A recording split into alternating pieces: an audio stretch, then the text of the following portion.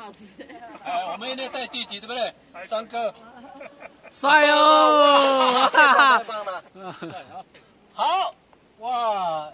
我们城市的小朋友，他们都有他们的童腕，不要看我们小孩子也有我们的童腕，怎么去玩？可是要特别小心哈！你看，如果哎，你为了要让飞鼠出来，你就可以用这个方式哦。你看，对，不要太快，太快出现的是你的手掌。这就是我们讲一系列的这些姑婆会简单的。